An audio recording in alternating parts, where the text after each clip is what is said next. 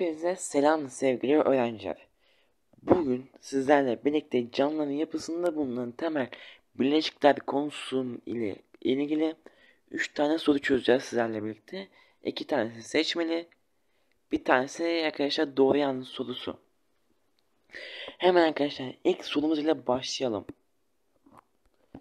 Evet arkadaşlar aşağıdaki 5 tane doğru yanlış sorusunu cevaplayalım demiş. Aşağıdakilerden hangisi mineraller için doğrudur. İnorganik yapılı düzenleyicilerdir. Evet arkadaşlar, inorganik yapılı düzenleyiciler için doğru bir seçenek mineraller. Yine doğru. Bir mineral, diğerine dönüşebilir. Bu arkadaşlar yanlış bir seçenek çünkü hiçbir mineral başka bir şey dönüşemez.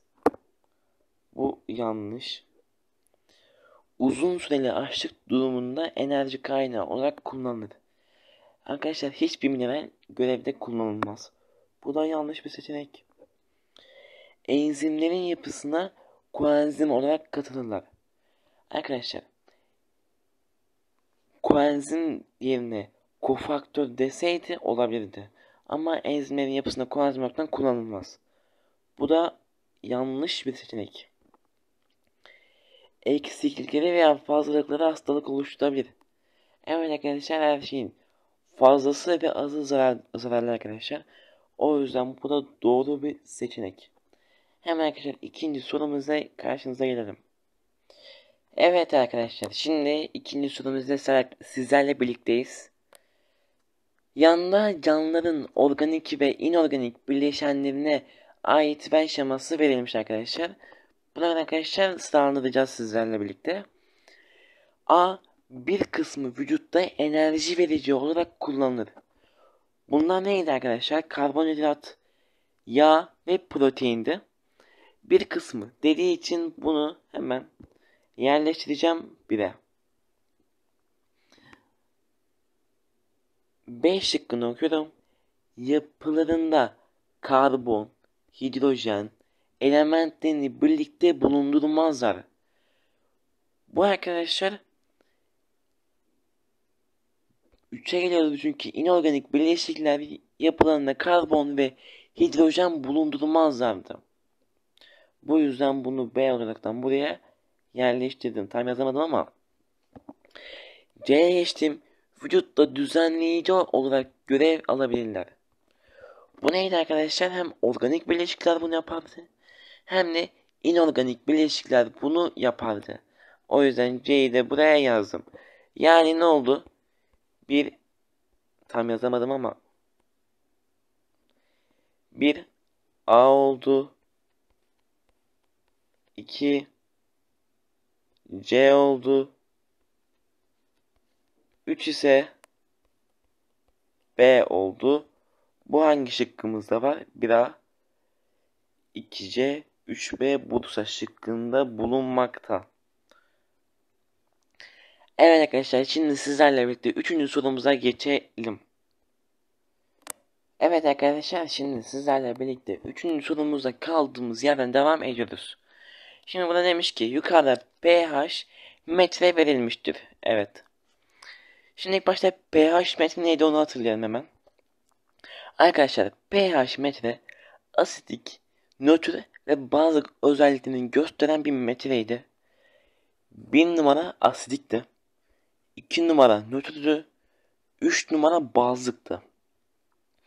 Bir numarada arkadaşlar asidik oldukları için sol tarafa gidildikçe artıyordu arkadaşlar. Asidik özellik sol tarafa gidildikçe artıyordu. Sağ 3 3 numaralı yerdeyse yani bazlık yerindeyse sağ tarafa Gidildikçe bazlık artıyordu. Zaten renklerden anlaşılıyor. Şimdi arkadaşlar bir numaraya şimdi hemen sorumuza geçelim arkadaşlar. Karbondioksit. Bir numara demiş. Evet arkadaşlar karbondioksit asittir. 2 amonyak demiş. Arkadaşlar amonyak nötr değil. Nötr olması imkansız arkadaşlar amonyağın. Amonyak bazlı arkadaşlar. O yüzden amonyak gizinden gidiyor şıkkı. İkinci şıkkımıza yani Bursa şıkkımıza geçtik. Elma demiş. Elma arkadaşlar asittir. Doğru. Maden suyu asitik değildir ama. Ya maden suyu asitiktir ama nötre koymuş bu. Bu yanlış ol yanlış oluyor arkadaşlar bu yüzden. Bursa şıkkı da gitti. Ceyhan şıkkımıza geçtik. Amonyak asite koymuş. Biz biraz önce ne dedik arkadaşlar buradayken? Amonyak bazdı ama burada asit demiş. Bu şıkkı eledik arkadaşlar. Gazoza geçtik. Gazoz asitti. Doğru. Bu doğru. Su nötrdür arkadaşlar. Yani pH değeri 7'ye çok yakın. 7.1 oluyor, 7.2 oluyor, 7.10 oluyor. Bu doğrudur. Brokoli arkadaşlar bazlık durumunda şuralarda bir yerdedir arkadaşlar. Şu an işaretlediğim yerde bir yerdedir. Bu arkadaşlar bazıdır. Evet doğru. Cevabımız denizdi ama biz yine normal olmaz. Eline şıkkımıza bakalım. Eline demiş ki bize gazoz. Gazoz asittir. Asite koymuş. Evet doğru. Amonyak baz. Amonyak baz değildi biz şurada ne demiştik? Amonyak bazdır. Nötr değildir pardon arkadaşlar yanlış söyledim. Amonyak nötr değil bazdır. O yüzden arkadaşlar E şıkkımız da yanlış. Cevabımız denizli. Evet arkadaşlar. Evet. Videomu ve beni izle, dinlediğiniz için çok teşekkürler. İnşallah arkadaşlar TYT'de ve AYT'de güzel sonuçlar alırsınız. Hepinize iyi günler dilerim.